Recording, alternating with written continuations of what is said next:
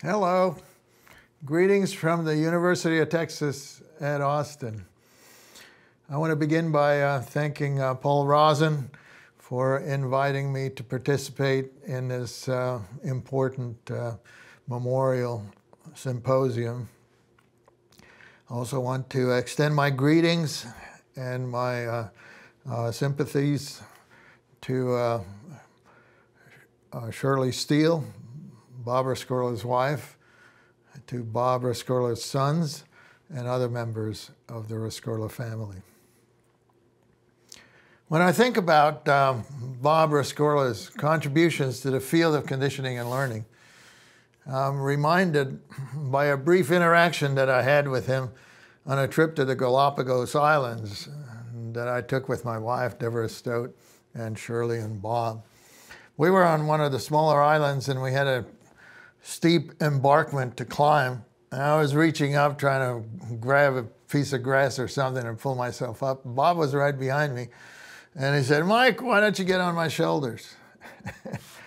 and I laughed and I said, Hey, I've been trying to do that my entire career. And all of us in the field of conditioning and learning have been trying to do that most of our careers. And Bob Rescorla has lifted up the quality of the scholarship and the science that we all do. And it's interesting to note that he's done that even uh, in the case of individuals like me who don't study Rescorla type problems. So, how has Bob Rescorla elevated my scholarship? Well, he's done that in three ways. First of all, he has a remarkable clarity of thought. Bob has moved from problem to problem to problem and each time he encounters a particular, it takes on a particular issue, he goes in there and he figures out what that issue is all about. And uh, he sorts everything out and figures out what the relevant variables are, what the relevant uh, experimental manipulations might be, and, uh, sometimes he provides new language to talk about that phenomena. And, uh, and he, he, he uh, makes it all seem so transparent and obvious and clear, so that after you read one of these Rescorla papers, you have this sort of aha experience. Aha, so that's what this problem is all about. Another thing that uh, Bob is, uh, is just spectacular at is, um, is designing experiments, and he's a masterful methodologist. And he became famous for that uh, early on with the random control uh, procedure.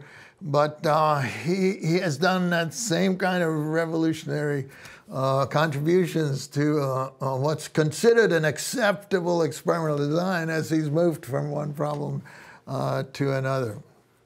And finally, Bob is, has tremendously altered the way we teach conditioning and, and learning. But uh, before I get into more details about that, uh, let me try to put Bob's uh, work in, um, in historical context. So this slide shows the landmarks uh, in the study of associations. An association is a linkage between two events, A and B, and once that association has been learned, and then the presentation of the first event activates memory and, and behavior relevant to the second event, even though the second event is not present. Now, the study of associations goes back as far as Aristotle, who proposed the three primary rules of associations, namely contiguity, similarity, and contrast. And he should have quit with the first two because contrast it doesn't work. Uh, but Barbara Rescorla is uh, one of the few contemporary scientists who's actually done res uh, research and collected data relevant to the first two of Aristotle's primary laws, namely contiguity and similarity. And uh, he solved the uh, paradox of simultaneous conditioning. In simultaneous conditioning, you, the two events are presented simultaneously, so that provides the best contiguity. Nevertheless, you often have trouble seeing evidence of conditioning with a simultaneous conditioning procedure. Rescorla figured out, why, figured out why that was the case. Well, then the next uh, major uh, advancement in the uh, analysis of associations occurred with the British empiricists who formulated a number, lots of, lots of uh, secondary laws of associations. and then nothing much happened uh, for a couple hundred years until the middle of the 19th century and uh, the turn of the 19th to 20th century when uh, these two gentlemen, uh, Hermann Ebbinghaus and Ivan Pavlov, began the systematic empirical investigation of mechanisms of associations, and Robert Rescorla has very much pushed that uh, line of investigation forward in, in uh, um, significant ways. And his contributions have turned out to be relevant to the entire field of uh, conditioning and learning. So uh, this particular slide is an attempt to uh, characterize the, the playing field, the range of things that people do uh, who study conditioning and learning these days. Uh, there's one category of uh, investigations that are focused on neural mechanisms of learning and memory, and there are lots of uh, people working in that area and doing lots of exciting things. Uh, then uh, there are behavioral studies of the behavioral mechanisms of learning memory, and that's where Bob Rescorla spent all of his life. And uh, then there's a third category, animal cognition and evolution and ecology of learning and memory, where I have spent my life. Now, what's interesting about this is that uh, associations, uh, both in terms conceptually and in terms of um, methods, uh, are uh, employed in all three of these areas of inqu inquiry, making Bob Rescorla's work relevant to all of these uh, areas. Now, I told you that uh, one of the things that um, Bob uh, did is to uh, substantially alter the way we teach conditioning and learning. And I've been teaching in this area for nearly 50 years. And in addition to using the, doing the usual professorial stuff of of uh, getting kids to uh, take a class and then showing up trying to teach them something. Uh, I've also spent a lot of my career developing educational materials, and for about 40 years, uh, that consisted primarily of uh, writing books on conditioning and learning. Uh, with the lockdown, with COVID, I also produced 36, uh, three dozen uh, instructional videos on conditioning and learning. And for Rescorla enthusiasts, you might be a, uh, get a kick out of the fact that um, my video on the Rescorla-Wagner model and its relevance to the development of self-driving cars uh, is the most popular among the videos that I've got out there on, in, on YouTube. Anyway, uh, as I mentioned, uh, I, I wrote a lot of books. And uh, one that has uh, uh, really uh, come to uh, dominate the field and, and, for a long time uh, is this book, Principles of Learning and, and Behavior, which first appeared in 1982 and is currently, remains in wide usage now in its seventh edition. And when I wrote this book, I, I didn't want to uh, advocate a particular point of view. I wanted to present a, an eclectic, uh, balanced description of what the field was all about. And so I was, I didn't want to produce a, primarily a Pavlovian book or a Skinnerian-oriented kind of book. There were books of, uh, of that, uh, particularly Skinnerian-oriented book. There are lots of books like that. I wanted to do a kind of an eclectic thing. And I thought it might be interesting it was interesting to me to uh, trace um, Bob Rescorla's contributions to the field by looking to see how various editions of this book treated his work. And for many of these editions, uh, uh, that preceded any personal relationship I had with Bob. And so I thought I'd count the number of pages of each edition uh, uh, in which um, Bob Rescorla's work was described. And here, here are those data across the seventh, seven editions of the book. You can see first couple of editions, he was cited on uh, 30 pages. Sometimes it went up a little bit, but we kind of hovered around 30, and that's a pretty healthy number. I mean, if I pick a book, uh, pick up a book on learning and memory, and uh, I look to see how many pages my work is cited on, I don't think I've ever found a book that cited me on 30 different pages. Uh, but nevertheless, I, I thought, uh, you know, in trying to interpret these numbers, uh, we need a comparison. And uh, who, who, should we compare Bob to? Well, one of the people I thought, thought would be highly relevant is, is Alan Wagner. Everybody thinks about Bob Rescorla as the guy who's associated with the uh, Rescorla-Wagner model. And if that was his primary contribution, then Wagner should appear on as many pages as, uh, as Bob Rescorla. So I collected data on, uh, on Alan Wagner, and then I thought, well, we should really go for a really famous psychologist that every undergraduate knows uh, in this area. And then so I said, well, how about B.F. Skinner? So I counted a number of pages on which B.F. Skinner appeared. And then I threw in data for Ralph Miller for reasons I needn't uh, elaborate here. And here are those data. so I was uh, really pleased to uh, to see that when I uh, put this in, uh, in, in, an Excel graphing program, uh, the Excel file picked blue uh, as the color to represent the data for Bob Rescorla because that, uh, you know, blue is the color of the striped shirts that he always wore. And I guess the Excel program associated Rescorla with blue just the way kind of I do. Uh, anyway, uh, uh, this is the data for all seven editions, and you can see that Bob beats out uh, B.F. Skinner uh, in every edition. Bob beats out Alan Wagner in every edition. Uh, Bob beats out Ralph Miller in every edition, though there's some variability. And the next question that you might ask, well, there are a lot of pages, okay, but how many chapters uh, is the work uh, uh, discussed in? And so in this next uh, uh, figure, I've got the number of chapters with citations of uh, all of these individuals, and I got tired of counting these things, so I only have the first edition, the fourth edition, and the seventh edition.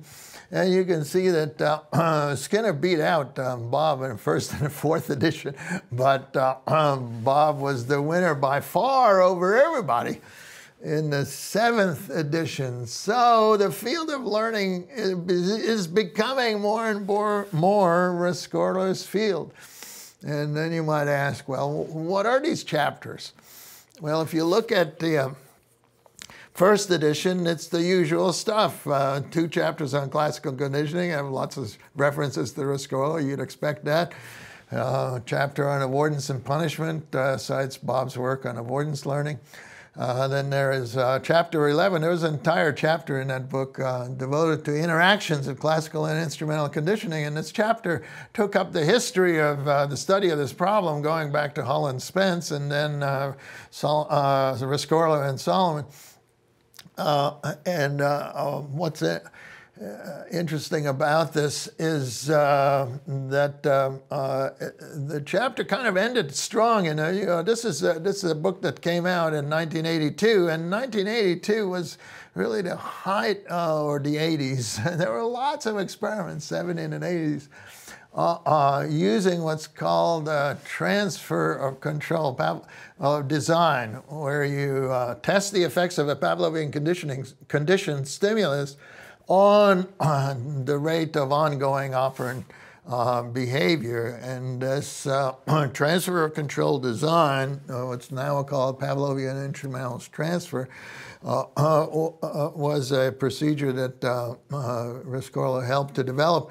And along with, you know, as I, as I said, he's always sort of clarifying how, should, how we should study these things. And so in this Rescorla Solomon paper in 1967, they kind of uh, spelled all this out, and uh, and it, that generated just hundreds of experiments on uh, Pavlovian instrumental transfer that continue today. It is a methodology that is of great interest to neuroscientists because it allows them to study the neural mechanisms of incentive motivation and how that affects uh, goal-directed um, behavior. What contemporary neuroscientists don't re recognize is that they're using the rationale and the methodology that Bob Rescorla developed whenever they're using that design. How about uh, the seventh edition? This is when the book is becoming a Rescorla book. Here, uh, Bob's work is uh, cited in there. Uh, uh, eight of 12 chapters. Now, one of the things you have to realize about uh, bringing out new editions of a textbook, you can't keep just adding material. You can't keep just adding chapters. All of the editions of the book were 12 chapters. And so each time you add material, you have to take some material out. And uh, a chapter on Pavlovian interactions was uh, redistributed to other chapters. But here there's a new chapter on extinction and uh, Bob, uh, Bob's work is heavily represented uh, there. But what are these phenomena that, uh, that we, we find useful to talk about when we talk about conditioning and learning in general? So these are, um, this is my list of Rescorla learning effects. and there are so many of these effects uh, that I've, I've, put them on two different slides. I already mentioned the first of these were all st stimulus similarity and conditioning. They uh, already uh, mentioned the random control. condition inhibition, this is an interesting story. In uh, 69, uh, Bob Rescorla published a paper in Psych Bulletin in which it did his usual thing. It took a particular topic, in this case, condition inhibition, reviewed the literature, figured out what's the important thing uh, and how to study it and so forth, and came up with a methodology for the study of condition inhibition, in which he proposed uh, sort of the dual tests of condition inhibition, the summation test and the retardation of acquisition test.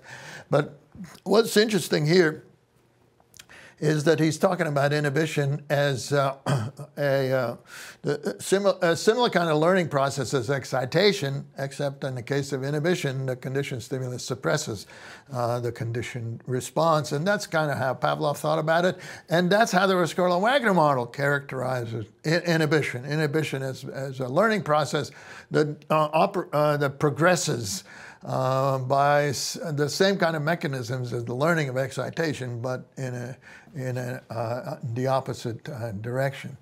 Uh, we also have this CS-US contingency effects, which is sort of a, uh, an ex, uh, extension of the, his arguments in a random control procedure. And, and, then he did a lot of work on higher order conditioning, and the only book that uh, Bob Rescorla published uh, was devoted to second order conditioning. Uh, we also have U.S. devaluation effects, which is a technique that he perfected and uh, and and uh, recognize the tremendous versatility of this procedure to uh, address all kinds of really interesting theoretical questions. The initial questions had to do with distinction between SR versus SR, SS learning. Uh, of course, there's the Rescorla-Wagner model, and then uh, two-process theory, which I've already uh, talked about. Uh, but there are more effects. uh, top of the list here is the RO association. Well, what does R stand for? R, of course, R stands for response. But um, this is uh, now at the beginning of Bob's analysis of instrumental conditioning. And he uses O to represent the reinforcer or the reward that the subject or the goal object that the subject obtains when he makes an instrumental response. And uh, this is one example where Bob Rescorla introduced new language. Skinner called the, uh, the reward a reinforcer the reinforcer. and um, Bob thought that uh, that term was not just descriptive, but had theoretical baggage. He didn't want theoretical, theoretical baggage. And so he used a more procedurally neutral term, uh, response outcome. Uh, he, there's also studies of um, hierarchical associations, and uh, Bob, uh, uh, along with Ruth Colwill, and uh, did a lot of work on uh, hierarchical associations, and they're all in instrumental conditioning. And it's a hierarchy because it's not one event being associated with another, but it's one event being associated with an associative unit. So here are the associations between S and the RO unit. And uh, uh, they studied these kinds of hierarchical association, not just in instrumental conditioning, but also in Pavlovian paradigms, uh, which is what's referred to in the next item, stimulus control by conditional relations. And this is a line of work that was started by Peter Holland, but um, Bob got into the game and uh, introduced new vocabulary, new methods, and on and on, uh, and sort of uh, recreated it or created it um, uh, to more to his liking. Uh, anyway, um, what's interesting here is that uh, when Bob was doing these experiments on uh, stimulus control by conditional relations in a Pavlovian par paradigm, he realized that conditioned inhibition is not the opposite of conditioned excitation. That conditioned uh, excitation involves an association between just two events and is not a conditional relation or a hierarchical relation, whereas conditioned inhibition is a conditional relation or hierarchical relation. So his conception of conditioned inhibition substantially shifted at this point, uh, and he, he, adopted a view that now is contrary to the Rescorla-Wagner and uh, of course, uh, moving on to the second column, uh, you see um, Bob's mo more recent work on uh, on extinction, uh, did a beautiful control experiment on spontaneous recovery. He invented a new procedure for uh, enhancing extinction involving the compounding of extinction stimuli. And then he uh, uh did experiments to demonstrate that um, extinction involved in an inhibitory SR association. Now, this is a different form of inhibition than the inhibitions that I've been talking about before. And I think one of the uh, really interesting things that uh, uh, I hope we get sorted out is how this uh, notion of an inhibitory SR association is related to Pavlovian conditioned inhibition and other forms of uh, learned inhibition. This brings me to the end of uh, this whirlwind tour of Rescorla phenomena. Uh, I hope I have uh, convinced you that Rescorla rebuilt the landscape of much of the field of conditioning and learning and created a new starting point for generations of investigators to come. And because of that, his influence will continue to be broad and long lasting.